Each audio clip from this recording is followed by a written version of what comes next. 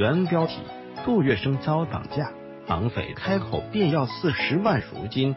杜月笙，我给你九十万。近代中国曾涌现出无数风云人物，大到割据各地的大军阀，小到地方上的名人，都可以谱写成一段传奇故事。上海青帮的杜月笙便是当时有名的大人物，他被称为上海滩教父。在乱世之中，能够有杜月笙这般名气的人，都不会是等闲之辈。没有《金刚钻》，也不敢去了这个瓷器活。杜月笙能够如此有名，离不开他的为人和胆识。普通人如果遭遇绑架，肯定是惊慌失措，而杜月笙则底气十足，镇定自若，与绑匪谈条件，气势凌人。想必能够做到他这样的人，应该没有多少。杜月笙在四岁时，父母便相继去世。十四岁便拜青帮的陈世昌为老头子，最后通过关系进入黄金荣公馆，得到黄金荣的信任，从此便开始了他传奇的一生。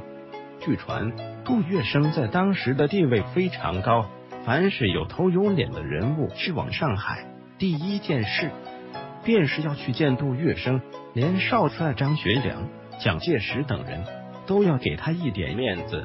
当时建造家祠时，蒋介石亲自送匾额祝贺，这足以看出他的地位。在当时社会，有钱便是硬道理。杜月笙作为大领导，除了很会做人，他还很会捞钱。可是，在捞钱之余，他也深谙一个道理：该散财时就散财，该破财就破财。不散财不破财，便难聚财。在抗日战争时期，杜月笙筹集大量物资送到抗敌后援会，并且弄到许多军中急需的通讯器材、装甲保险车等送到前线。该花钱的地方，他绝对不吝啬。正所谓君子爱财，取之有道。杜月笙的财产虽不完全都是从正规渠道得来的，但是他也不是什么钱都捞。在杜月笙的心里也有一杆秤。一九三七年，日本全面侵华并进攻我国上海，当时情况危急，人人自危。日本人为了拉拢杜月笙，一口气拿出三千万日元，说要和杜月笙合作。但杜月笙一口回绝，拒绝做买。国贼展开全文，日本人仍不死心，觉得杜月笙胃口很大。于是说钱不是问题，只要合作便能够拥有大把的钱。但杜月笙并没有答应，最终选择迁居到香港避难。一九四零年，杜月笙实际成为中国帮会的总龙头。太平洋战争爆发后，杜月笙又选择迁往重庆。此时的杜月笙已经没有多少钱可用，对于钱，他甚至不可不捞，更不可不花钱。像他们这类人物，基本上都需要大笔资金作为备用，平时也需要花钱。他在上海和香港一掷千金已经习惯，在重庆过了几天没钱的生活，他觉得很痛苦。所以，杜月笙想重新打造资金的商业帝国。杜月笙后来去找了四川的财神刘航琛，四川王刘湘的财神爷。当时刘航琛给了杜月笙一张支票，数额任由杜月笙来填。得到了启动资金，杜月笙凭借自己的手段和头脑，开始打造自己的帝国。正所谓树大招风，杜月笙虽然当年在上海只手遮天，但毕竟重庆不是上海。有人开始注意到杜月笙，想从他手里弄点钱来花花，以此。杜月笙外出办事时，莫名其妙被一伙人给架起来，然后被掳上了一辆车中。杜月笙才反应过来这是绑架。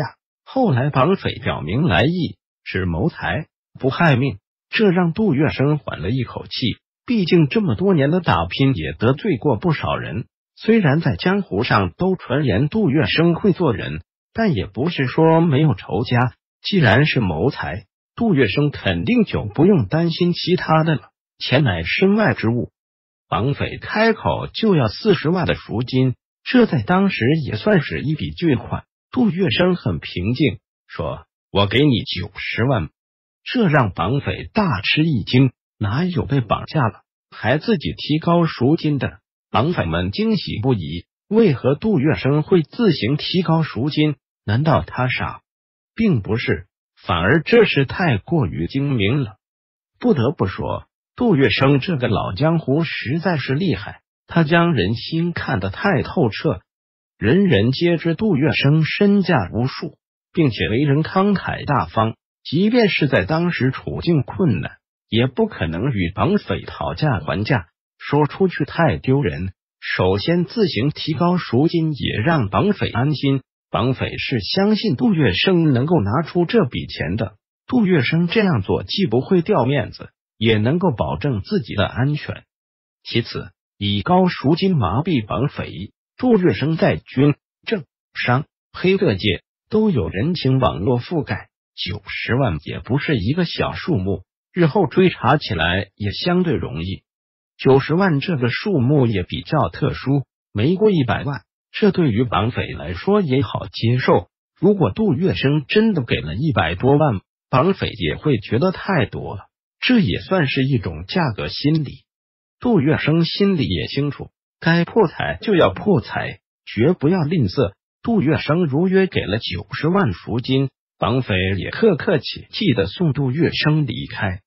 除此之外，杜月笙当时有一个门生被人绑架，他毫不犹豫给绑匪打款。对于钱字，杜月笙可谓是看得很开，说重要也重要，说不重要也不重用，人情二字才是最重要的。返回搜狐，查看更多责任编辑。